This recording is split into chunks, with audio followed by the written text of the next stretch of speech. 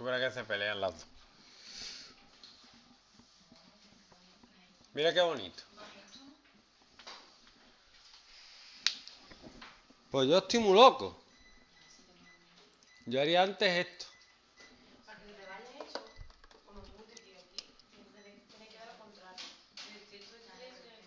X cuarta. Menos X cuadrado. Y me queda X cuarta menos 1, ¿vale? Yo haría antes eso.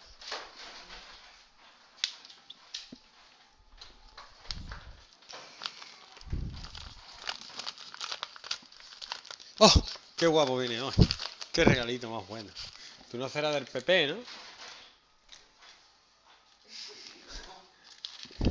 No pilla los sitios, tío. Tengo que explicar. Diego, no nos vamos a quedar aquí para hacer selectividad ya este año.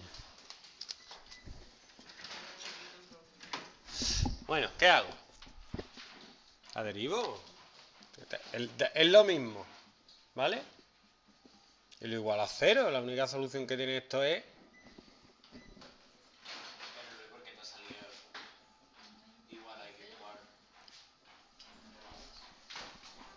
Vamos, esto ya es escribir demasiado.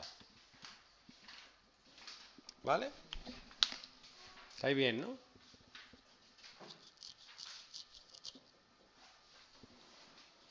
Y hago la rayita, Maradona. Y nada, menos 1 y 1. F' de menos 1 y F' de 1. F' de menos 1 es negativo y F' de 1 es positivo. ¿Vale? Que tiene un máximo en el 0. Mínimo, mínimo. Porque dicho yo máximo. ¿Qué estaría pensando ya? En algo estaría pensando. Y ahora, si la tengo que dibujar, sin total no tiene, dominio es todo R, poca información tengo. Sé que es par, eso sí. Puntos de corte, mira, los puntos de corte yo los puedo sacar. Algo me darán. Si x igual a 0, queda igual a menos 1. Y si igual a 0, me queda x cuarta menos 1 igual a 0.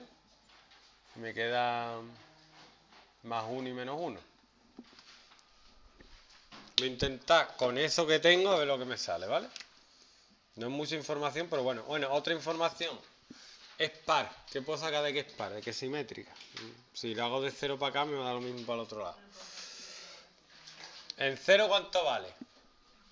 En 0 vale menos 1. Que es el mínimo. Luego en 1 y en menos 1 vale 0. Y yo necesito algún punto, quiero decir. Para dibujarla medio bien, me cojo el 2 y el menos 2. Que da 15 en los dos, ¿vale?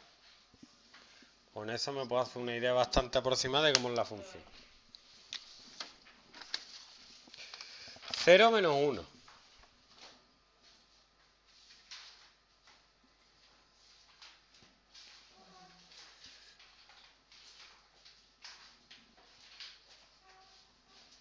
Algo así tiene que ser. ¿Os ha enseñado la concavidad y la convexidad no? Algo así. Es una cuasi parábola. Cuasi. Pero no es una parábola.